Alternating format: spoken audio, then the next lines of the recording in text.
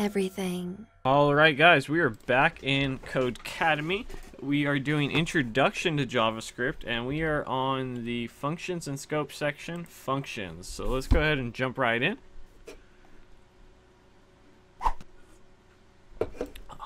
What is a function? If you're not familiar with a, what a function is, it's basically a reusable piece of code. So if we wanted to console.log, hello, my name is John, we could save it in a function and then just call that function whenever we would need it to work. So it says go ahead and copy and paste this into here. So here's our function. We denote it, say hello, then the brackets, and then the code within it, and then we can go ahead and call that function. Oops, sorry guys, one second. We can go ahead and call that function by simply calling say hello.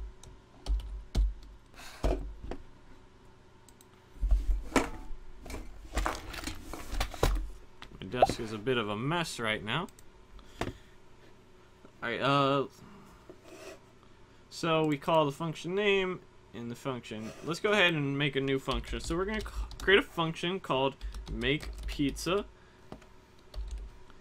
And within its scope here, or within it, within it, we're going to console.log some stuff. What is it that we're going to be logging? It's going to be pizza.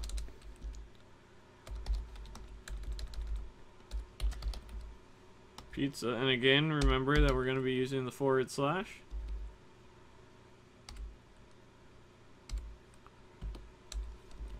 Pizza's done. Let's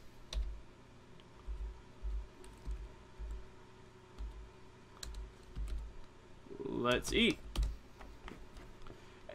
And then we want to go ahead to call that function so that it runs because if you write a function like this, it's not going to actually do anything until we call it.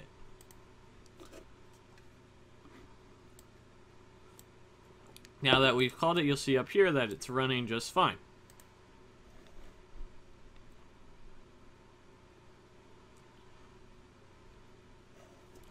So you can also add parameters, as you'll see right here. Now, a parameter is basically information that you're going to pass into that function so that the function can run uh, correctly. You'll see right here, it's passing in a first name parameter, which you can put into it when you call the function, and then it'll output a more dynamic um, dynamic thing because it's taking in items and doing stuff with that. So in our example here, we're going to add a parameter called topping.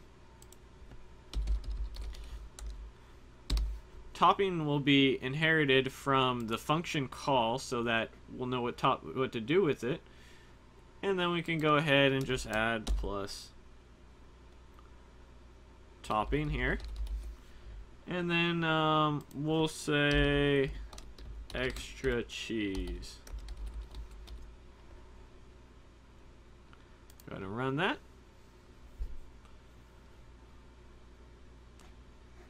And you'll see right here, pizza's done. Let's eat extra cheese. So now it's more dynamic because we're passing in a parameter that we'll use within the function.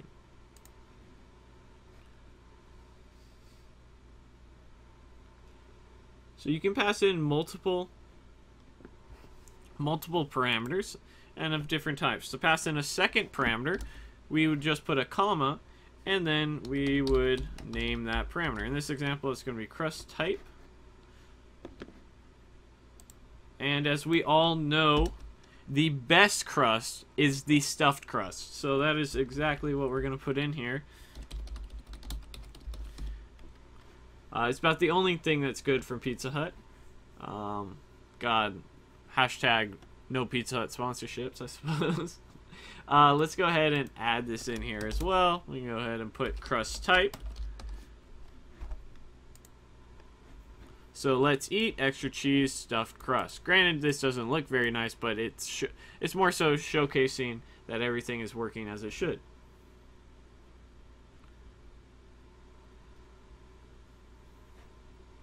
Interesting.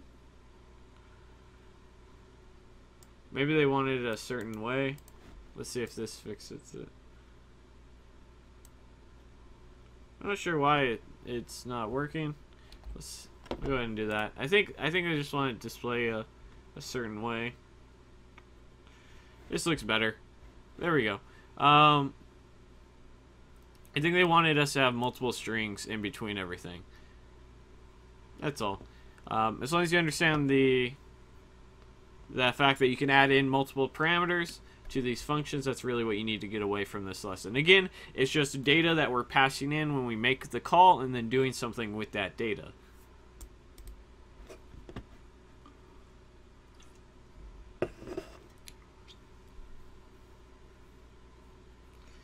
You can also you also create a variable that will store the value of a function that you can use that variable later on.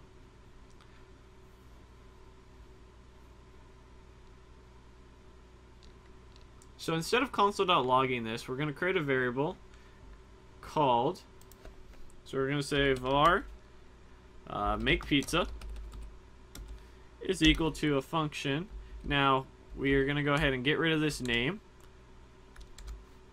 And instead, what we want to do is we want to return this.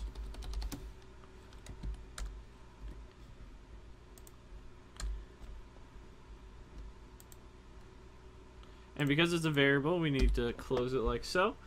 And then setting it to equal to function, take two parameters, topping and crust type, instead of replace with a return statement. Just gonna run this real quick, make sure we're we're doing everything correctly. So basically we're creating a variable that's storing a function in it, and then we're gonna do something with the data that's within that variable. On the next line outside of the function, create a variable called custom pizza. So we're gonna create a variable here called custom pizza, and we're gonna set it equal to a function call of make pizza. So because it's a function, we're going to denote it right here. Uh, even though it's a variable storing a function, we still do this to call it.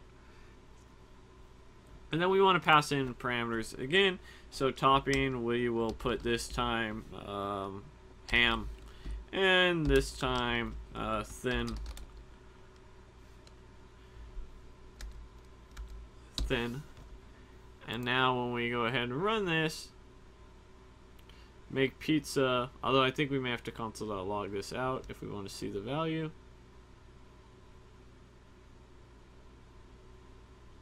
Oh yeah. Just making sure we're getting everything going here. This is really going absolutely slow. So we're taking a variable that's storing all that's storing this string now with the parameters that we've provided, and now we're gonna just go ahead and console.log out because as of right now, all we're returning is a string. We're not actually returning any output. So now when we run this, you'll see that we get our output. This thin crust pizza with ham, done, let's eat. Now there's a variety of reasons why you might do this. Um, you may just need the data so that you can can store it in something. It may be easier to handle that way. It really just depends. Um, it's a little bit of preference as well. But that is functions. Um, what did we learn in this? We learned what a function is. Function is basically something that stores some code that you can reuse. You can also functions also take in parameters, which is data that you'll use within the function.